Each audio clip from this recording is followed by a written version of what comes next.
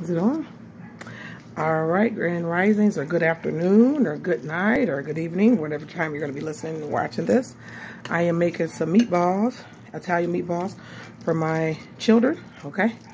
So I've added some one pound of ground beef, some milk here, and then I also have some onion in there, one chopped, coarsely chopped onion, garlic powder, onion powder, oregano, Himalayan salt, and pepper in there, okay?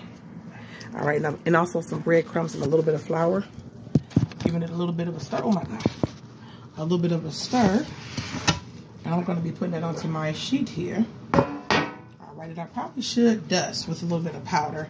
I just like to do that with a little flour just to make sure it doesn't get like, you know, wonking all over the place. But if you don't like, you know, the powder or the flour, putting it on there, a little cornstarch, you don't have to, okay? Let me grab the cornstarch here. This is just to make it not to stick. Or you can use a non-stick baking dish, okay? If you're so fortunate. I just dust it like that. Something I just learned from my parents. Okay? Give it a nice dusting. Might be a little bit too much. Let me go get some of this off. Now, the trick is you do not want to over stir. I wonder why I keep going in and out like that. I got a little cornstarch on this fine. You don't want to overstir your meatballs. That's going to make them really, really tough.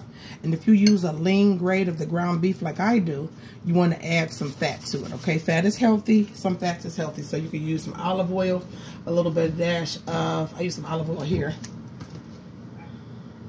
Or you could use a little bit of dash of avocado oil or a little bit of melted butter, whatever you like, okay?